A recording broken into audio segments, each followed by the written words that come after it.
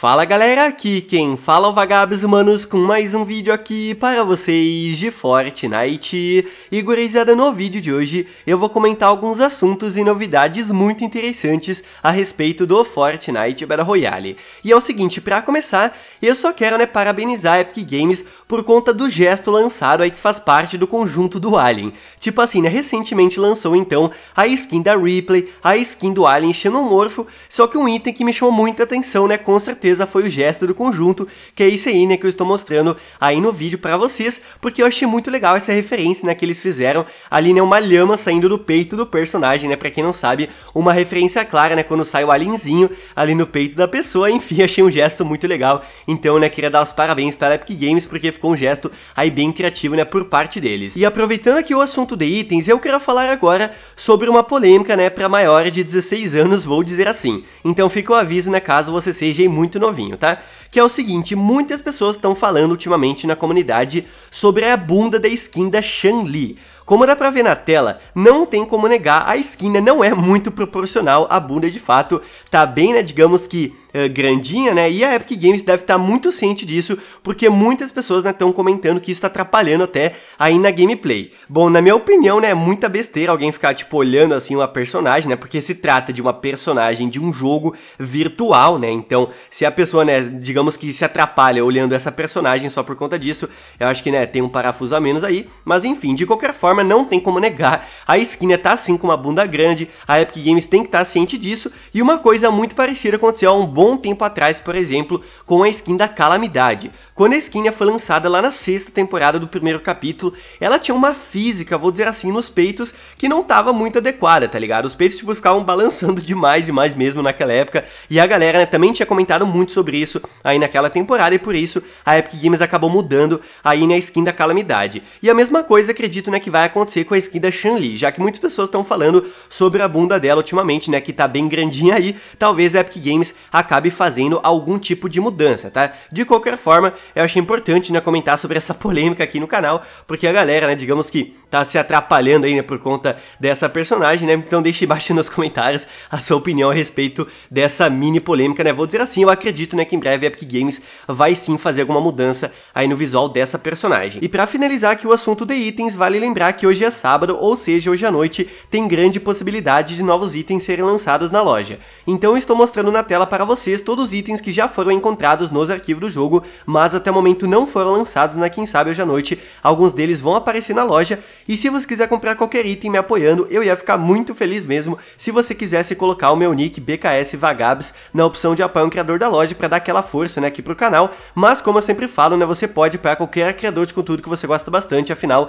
não custa nada para você, né? Com certeza você vai estar tá apoiando bastante algum aí criador de conteúdo, tá? E olhem só, outro assunto que eu quero comentar é sobre uma matéria que a Epic Games colocou lá no site deles, falando sobre o FNCS, tanto dessa temporada como também o planejamento do competitivo aí na próxima temporada do jogo, tá? Olhem só o que eles escreveram aqui. FNCS, atualização das semifinais do capítulo 2, temporada 5. Olá, competidores. O capítulo 2, temporada 5 está chegando ao fim, o que significa que os novos campeões do FNCS serão coroados nas próximas semanas. Agora que entramos na reta final, gostaríamos de comentar algumas questões de vocês e de compartilhar os primeiros detalhes do campeonato da próxima temporada. Chaveamento das semifinais. Alguns jogadores querem saber como as semifinais são chaveadas de acordo com os resultados das classificatórias.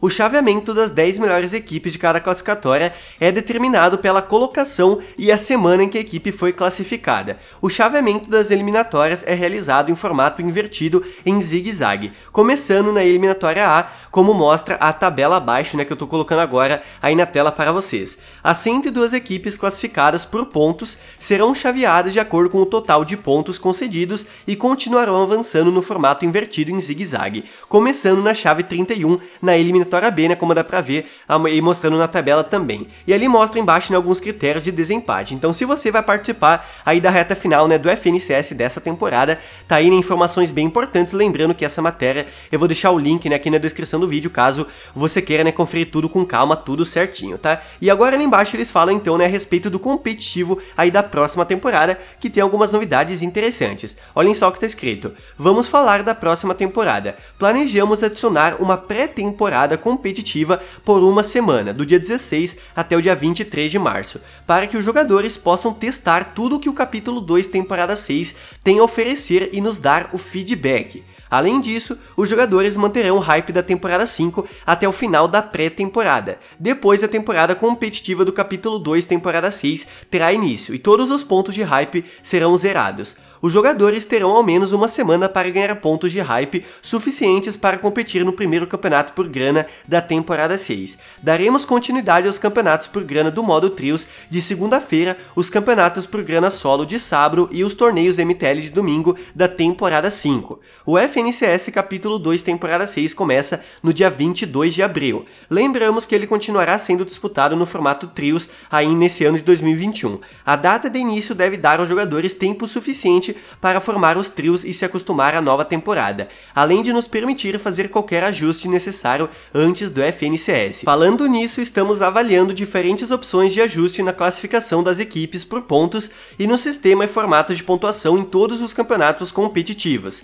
Em breve, compartilharemos mais detalhes sobre a próxima temporada do FNCS, além do evento do meio do ano. Até lá, esperamos que aproveitem o restante do FNCS da temporada atual. Então tá aí, né? Se você é sempre ligado no modos competitivos, né? Tá aí então o que a Epic Games planeja aí no competitivo da próxima temporada. Eu achei bem interessante esse negócio, né? Que eles vão fazer uma pré-temporada, né? De teste pra galera testar, né? Tudo que vai ter de novo aí na próxima temporada. Lembrando mais uma vez, eu vou deixar o link dessa matéria na descrição do vídeo, né? Caso você queira, né? Conferir tudo com calma. Então, se você conhece alguém, né? Que também é bem ligado em modos competitivos, mande esse vídeo pra ele, né? Com certeza informações bem importantes a respeito da próxima temporada competitiva do Fortnite. E ontem manos, eu comentei com vocês, né, a respeito de um possível tema da próxima temporada. Aí, né, quem sabe vai ter uma forte ligação com a DC, né? Afinal, ontem, como eu falei, foi anunciado então, né, o grande crossover dos HQ da DC, né, com a história do Fortnite. Só que uma coisa que eu quero comentar agora é sobre essa capa aqui, né, de um dos HQs. Como dá pra ver, na mão ali de uma das skins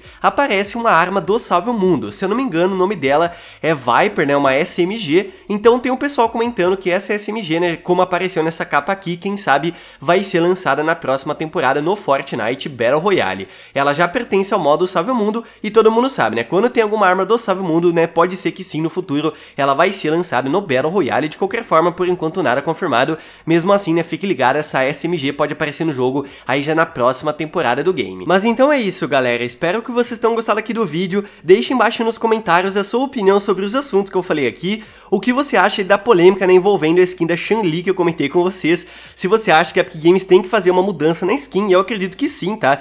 Porque muitas pessoas de fato, né, estão falando a respeito disso, que é, tá atrapalhando, né, digamos que a gameplay da gurizada só por conta ainda do visual da skin, então eu acho, né, que em breve a Epic Games vai fazer uma mudança, né, por conta dessa polêmica, de qualquer forma, deixe nos comentários a sua opinião a respeito do assunto também. E se você gostou do vídeo, deixa o like porque não custa nada e me ajuda muito, e não esqueça de mandar pros seus amigos, né, pra todo mundo ficar ligado em mais assuntos e novidades interessantes do jogo, e também se você conhece, né, algum amigo que é sempre bem ligado em modos competitivos, para ele ficar ciente então, né, do planejamento da Epic Games a respeito do competitivo aí da próxima temporada do game. Então é isso, manos, aquele abraço, se vemos no próximo vídeo, valeu, falou, e eu fui!